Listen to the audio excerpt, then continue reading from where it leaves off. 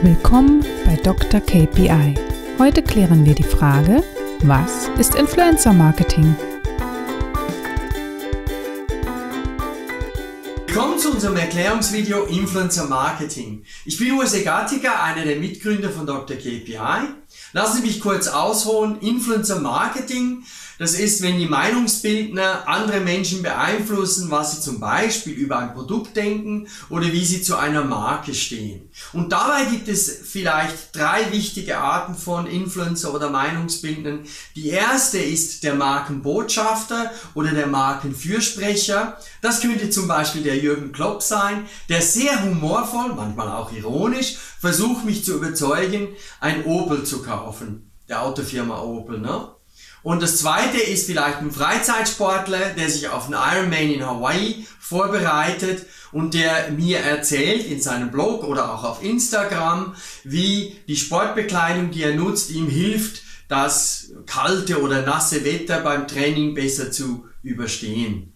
Und das dritte wäre dann ein führender Nutzer, ein Lead-User, wie zum Beispiel die Lufthansa Technics, die beschreibt, was sie mit dem Produkt macht. Das hat natürlich Einfluss auf andere Fluggesellschaften.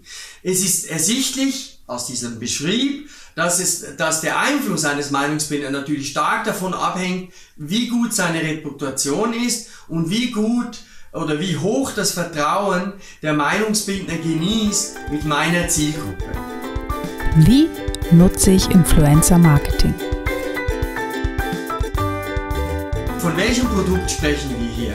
Das ist natürlich wichtig, denn ein Konsumprodukt verkaufen wir nicht auf die gleiche Weise wie ein Investitionsprodukt. Lassen Sie mich anhand eines Beispiels beschreiben. Ich habe mir hier äh, erlaubt, Ihnen zu zeigen, die CR7, das ist der Unterwäschebrand von Cristiano Ronaldo, den versucht er weltweit an junge Fußballer und jung gebliebene Fußballer zu verkaufen und macht dafür Werbung auf allen sozialen Medienkanälen wie auch in Blogs und so weiter. Ähm, etwas anderes ist natürlich ein Autobus. Hier versuchen wir nicht Fußballer zu erreichen, sondern Ingenieure, auch vielleicht weltweit. Und natürlich ist hier Instagram nicht unbedingt ideal, sondern wir versuchen vielleicht eher einen technischen Blog-Eintrag zu machen, Vortrag an einer Messe oder etwas zu schreiben und das in einer Fachzeitschrift zu publizieren. Wenn wir jetzt also Influencer Marketing machen, stellt sich die Frage, ist das jetzt effektiv? Ist es erfolgreich? Beim Cristiano Ronaldo war es nicht unbedingt erfolgreich in meinem Lieblingssportgeschäft in Zürich. Da hat mir der Besitzer erzählt, sie mussten die Preis so stark reduzieren auf 25 Prozent des Originalpreises, dass sie bei jeder Unterhose, die sie dann noch verkauft haben, eigentlich draufgelegt haben. Das kann natürlich oder hoffe ich bei einem Autobus ein bisschen besser, besser sein. Auch wenn ich höre, dass man zum Beispiel für ein Instagram-Foto eines Hundebesitzers, das ein Hundebiskuit einer bestimmten Marke ist, fast 3000 Dollar bezahlt in den USA, muss ich das ein wenig mit Vorsicht genießen. Das kann sein, dass es in Deutschland oder in Österreich überhaupt nicht funktioniert. Wie messen wir den Erfolg?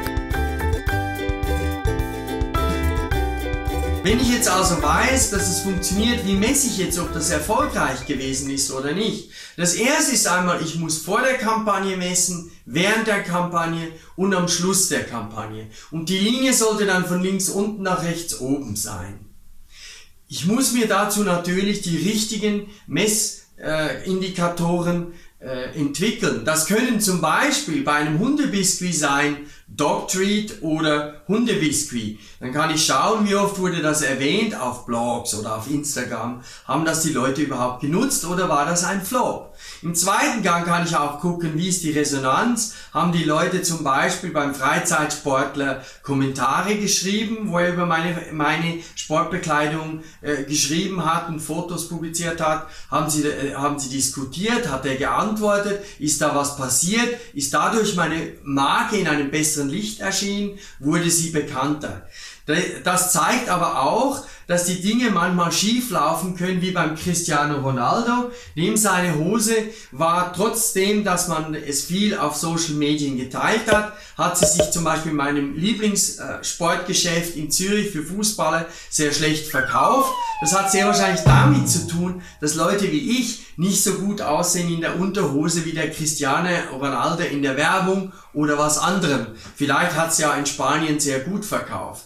Das bringt mich zum Schluss meines Influencer-Videos. Ich hoffe, es hat Ihnen gefallen. Bitte teilen Sie es mit Ihren Kollegen und Kolleginnen und auf ein nächstes Mal. Vielen Dank, dass Sie vorbeigeschaut haben. Besuchen Sie uns auf blog.drkpi.de. Möchten Sie unseren letzten Videobeitrag anschauen? Einfach hier klicken.